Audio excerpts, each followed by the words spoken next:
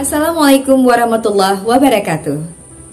Salam belajar, Bapak Ibu Kepala Sekolah hebat di mana pun Anda berada.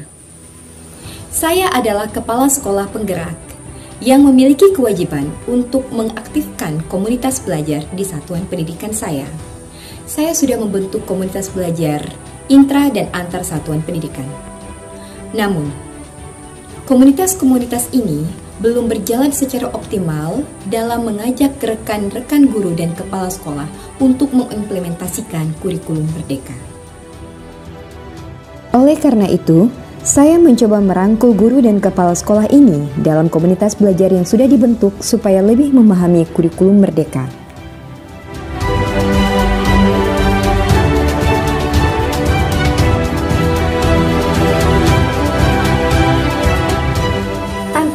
Saya hadapi dalam melaksanakan praktik baik ini adalah munculnya paradigma negatif mengenai kurikulum merdeka, yaitu ganti menteri, ganti kebijakan.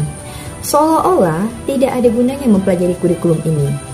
Karena setelah pergantian penguasa, kurikulum ini tidak akan dipakai lagi. Banyak kepala sekolah senior yang tidak terampil dalam menggunakan laptop, apalagi menggunakan aplikasi. Keengganan mereka belajar karena mereka sudah merasa tidak mampu lagi belajar karena pengaruh usia. Adanya himbauan bahwa kurikulum merdeka ini tidak boleh dipaksakan dalam penerapannya, sehingga masih ada opsi aman bagi sekolah-sekolah yang masih mau menggunakan kurikulum 2013. Kurangnya uh, kemandirian dalam belajar secara mandiri. Hal itu menyebabkan ketidakmampuan dalam mempelajari modul-modul dalam platform Merdeka Mengajar atau kita sebut dengan PMM. Aksi yang saya lakukan adalah, pertama-tama, saya menggerakkan komunitas belajar intrasekolah. Dengan memaksimalkan waktu pertemuan, serta membuat jadwal pertemuan yang membahas beragam topik yang ada pada platform Merdeka Mengajar. Pertemuan ini sebanyak dua jam pelajaran per minggu yang dilaksanakan setiap hari Sabtu. Kemudian, saya menunjuk seorang koordinator kombel dari unsur guru Guru-guru ini bertanggung jawab atas kegiatan Kombel seperti menyusun jadwal, merencanakan pertemuan dan menggali kepada rekan-rekan guru tentang topik prioritas yang dibahas setiap kegiatan komunitas. Saya legalkan tugas guru-guru ini dengan surat keputusan yang saya tanda tangani sehingga menjadi lebih kuat dasar tugasnya. Kemudian setelah kegiatan berjalan dengan baik, kami merefleksikan setiap kegiatan dengan evaluasi setiap bulannya bersama-sama.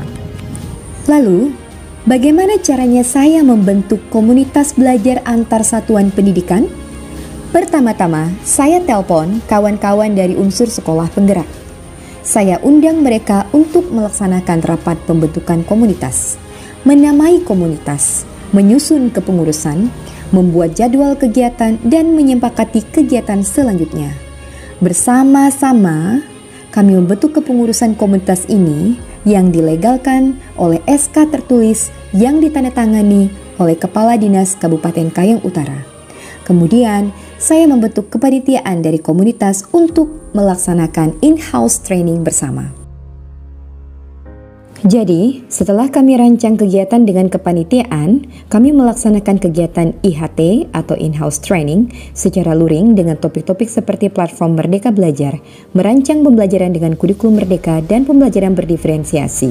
Di sini kami mengundang narasumber, yaitu salah satu fasilitator sekolah penggerak yang bertugas memandu sekolah penggerak di Kabupaten Kayong Utara dan Benua Kayong. Dengan bantuan beliau, kami bisa melaksanakan IHT perdana kami dengan sukses. Lalu bagaimana supaya kami tetap bisa saling terhubung dalam komunitas ini? Saya membentuk saluran komunikasi daring seperti grup WhatsApp sebagai media untuk berdiskusi, bertukar informasi, bahkan melakukan layanan coaching. Dampak dari aksi adalah peningkatan pemahaman guru dalam materi-materi dalam kurikulum merdeka dan bisa memfasilitasi rekan-rekan kepala sekolah untuk mendaftar IKM secara mandiri. Langkah ini memiliki hasil yang efektif, terlihat pada antusiasme guru dan kepala sekolah dalam mengikuti komunitas belajar. Kepala sekolah senior yang belum terbiasa menggunakan aplikasi platform Merdeka Mengajar mulai bisa mengikuti modul-modul ajar yang ada pada platform Merdeka Mengajar. Paradigma mereka yang semulanya negatif terhadap kurikulum Merdeka ini menjadi berubah mereka memiliki sikap yang positif. Bahkan beberapa dari mereka malah ingin belajar lebih jauh lagi terhadap kurikulum. Dalam mengimplementasikan kurikulum Merdeka, kami bergabung dalam komunitas belajar Kayu Utara. Komunitas belajar ini dilaksanakan secara luring. Komunitas belajar merupakan wadah bagi kami untuk belajar bersama, berdiskusi, dan saling berbagi praktik baik. Dengan adanya komunitas belajar ini, saya dan guru-guru merasa terbantu sehingga kami lebih memahami konsep-konsep kurikulum merdeka dengan baik. Pergerakan komunitas belajar membuat saya dan rekan guru-guru semakin memahami kurikulum mereka dan tidak merasa sendiri apabila mereka mendapatkan kendala dalam menerapkannya.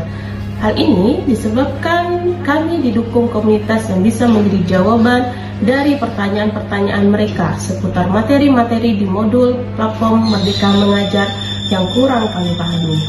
Strategi ataupun metode untuk saling belajar dan berbagai membuat pemahaman kami menjadi lebih baik dan semakin nyaman dalam menerapkan kurikulum ini dalam kegiatan pembelajaran di kelas.